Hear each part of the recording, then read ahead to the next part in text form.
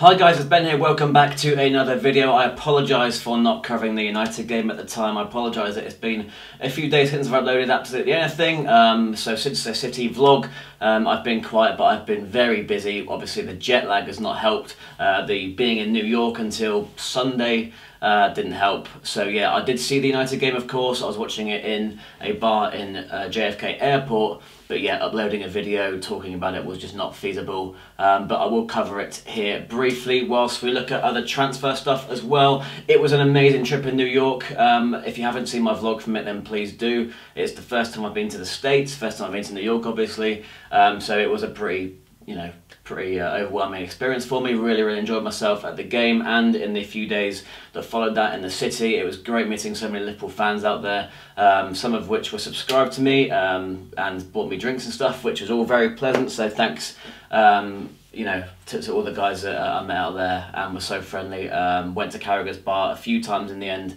and yeah, what a place and what a city. So check out that vlog if you haven't already. Um, in terms of the football, I mean the City game itself, I've already spoke about in that vlog, was uh, a really good, impressive comeback from Liverpool. Um, like I say, Mo Salah didn't take long to score, and Mane looked really lovely when he came on as well. But I think we want to get to the United game. Um, just to touch on that briefly, Shaqiri. I mean, how can you not talk about Shaqiri? Wonderful debut goal, wonderful assist for Sturridge, who again looks absolutely mustard.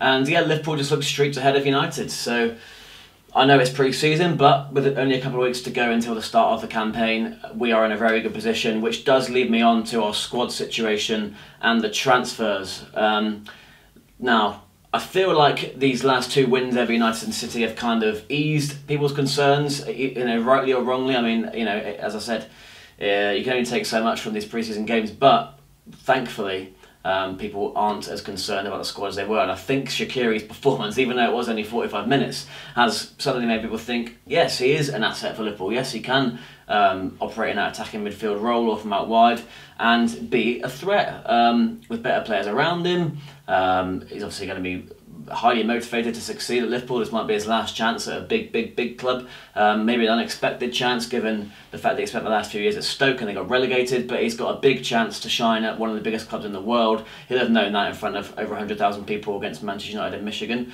Um, so, yeah, I mean, let, us not act as if we've completely neglected that part of our, our squad. We've signed Shaqiri, who is a very good asset.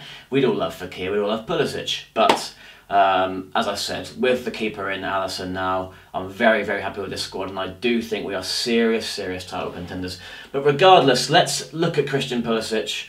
Um, so, according to Ralph Honigstein, it looks like he's going to stay at Dortmund. Obviously, it's been the the talk has been that Chelsea are very interested. Obviously, they they're going to get rid of Willian and could lose Hazard this summer as well. Although talk about Hazard has kind of quietened down, but they're obviously.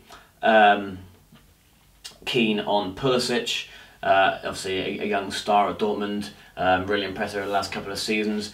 And yeah, it seems to be seems to have been a bit of a 50-50 battle for him. He wants to play in the Premier League, um, and these two clubs seem to be uh, the, the, top two destinations. Now, we've just beaten Chelsea to the signing of Alisson. Um, I, I mean, you know, the, the, way things are going, Chelsea haven't really got it all in place. They're not quite as in, in such dire straits like Man United are, um, seemingly, but they're not quite set. I mean, I'd even argue that Arsenal look more of a, um, you know, they've kind of set their stall out already for the season uh, in comparison to Chelsea. Spurs haven't really done an awful lot, so they're not looking in great shape. So, I mean, Liverpool, out of all the, the kind of top six um, clubs, I would say are in a very, very strong position to be signing these players, which we haven't been in years gone by. But now, I mean, I was kind of worried about Alisson because uh, you know I heard the London factor, and um, obviously Sarri would have been extra determined to bring him in, having you know been his opponent for so many years in Serie A.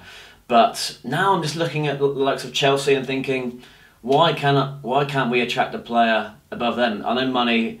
We've obviously shown that we can spend money now. We've done it. We've broke the world record for the goalkeeper and the centre back.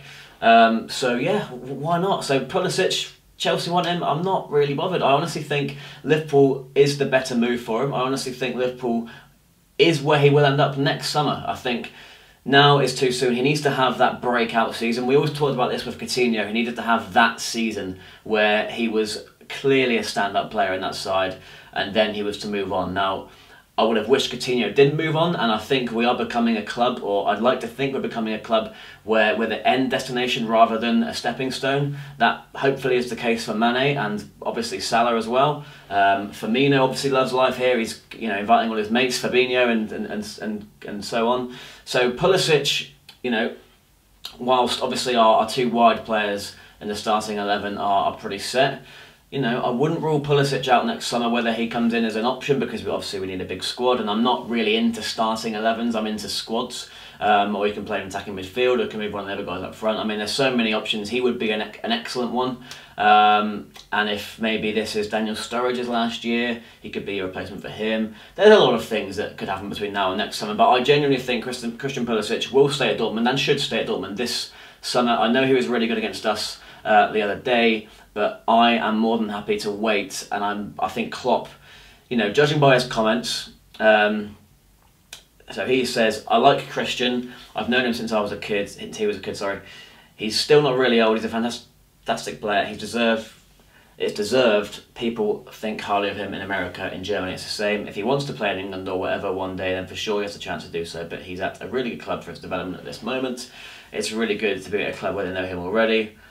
Um, he says if at one point he'll join us, I don't know. I like him. It's not that could be the problem, but we respect contracts. So he's hinting. You know, Klopp doesn't normally do that, but he is hinting there that um, he likes him and he, you know, I, think he does want him to join eventually. There's been talk of this in years gone by. They worked together very briefly at Dortmund. The relationship is there, and yeah, I I'm kind of going to say now that I do think he will be our marquee signing next summer. Whether it's you know a 90 million pound deal, uh, I think he will be the one, and I I'm very excited to see that. Hopefully, we'll be Premier League champions by the time that happens.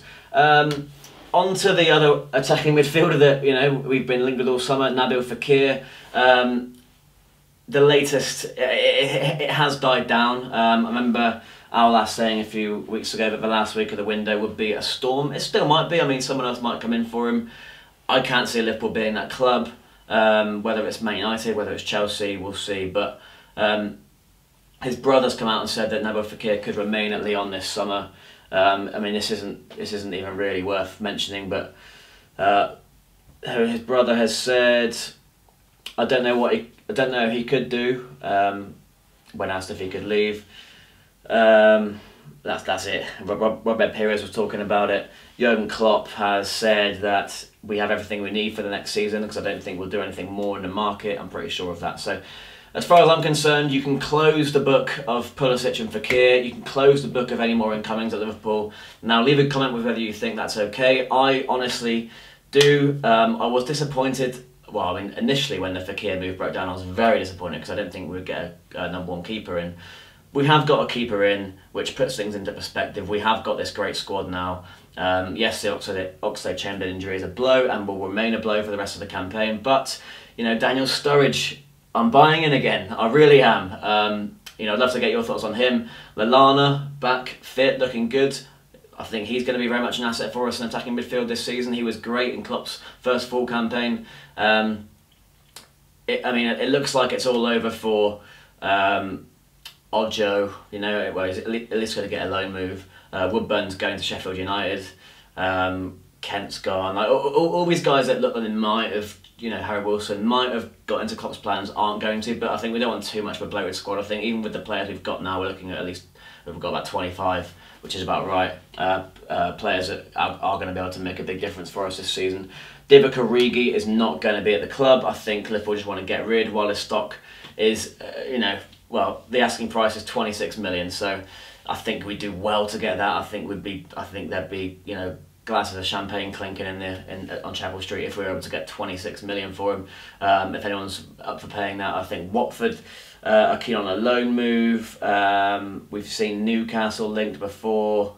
Um, I mean, Danny Ings likewise. Palace, Southampton, and, and uh, other clubs in the Premier League looking at him for about 20 million. So looking to recoup some of that big money that we spent this summer, which is absolutely fair enough. Um, I've seen Valencia linked with Origi, maybe that would be a good move for him, fresh start in a new league. Um, he just needs to settle somewhere. I don't think it's going to be Liverpool because it doesn't fit the style of play uh, and just don't, think he's good enough, which is unfortunate because I did really like him when he first burst onto the scene in that Europa League run. Um, Mignolet to Barcelona is still a rumour, um, so we have to kind of give that one some credit. I've just got a Sky Sports article up here saying that um, Besiktas have made contact, but they haven't followed that up with a bid, and Barcelona are interested. They're obviously looking for an, another, um, well, a sub goalie, let's, let's face it. So there we go, that's the transfer talk. It's been pretty quiet recently. I think most of the headlines, as far as Liverpool concerned, have been on the pitch. Um, very positive last couple of results after a disappointing loss to Dortmund, which seems like forever ago because, you know, that was that was Loris Karius's, um, you know, big, well, another one of his bad days at the office. Um, but the mood since then has, has been lifted. Karius hasn't had to face any spotlight, which is which is good. Um, so I think we can all move forward. Let's get this transfer window out of the way. Stop thinking about it. Stop panicking about our, our options, and let's just get into the season where we are the second favourites to win the league, and rightly so. I think we're clear second favourites. Um, I think, in fact, the odds between us and, us and City should be a bit closer together. Um, in terms of other title contenders, I mean, you can never write Chelsea off because they always seem to bounce back after a bad season. You can never write United off because it's Mourinho, but he seems like he's holding them back more than anything else this season. Spurs, I'm not really taking seriously yet because they haven't done enough in the market, and um, everyone else is progressing while they're kind of standing still. Arsenal the interesting one. Um, I mean, you look at their squad on paper, especially in attack, and it's frightening. Um, I'm not convinced by the signings. I'm not convinced by the manager, but that's um, maybe something I'll be proved wrong on. Um, no, I, know he won the league with PSG. I know he's got. I know he's won plenty of trophies, more than Jurgen Klopp, which I'm sure we'll be reminded about on Twitter for the next nine months. But yeah, I mean, I'm, it's not an appointment that scares me like a Simeone would have, um, or even a Buvac would have, because you know then there would have been the fear of the unknown. But uh, yeah, Arsenal I think very much top four contenders. But yeah, for me, Liverpool are, are streets ahead of everyone bar City. Uh, maybe, maybe you know maybe Spurs can still cause an issue or two, but yeah, we're in a very strong position, guys. Let's be positive. Um, no transfers, as far as I'm concerned. I might be wrong. There might be a surprise. Um, so leave a comment with whether you think there will be a, a surprise between now and August the 9th when the window shuts. Until then, guys, um, I'll be back with a preview for Napoli very soon. And yeah, make sure you follow me on Twitter, Instagram, Snapchat, and Facebook. Uh, make sure you subscribed here if you haven't already, and I'll see you next time.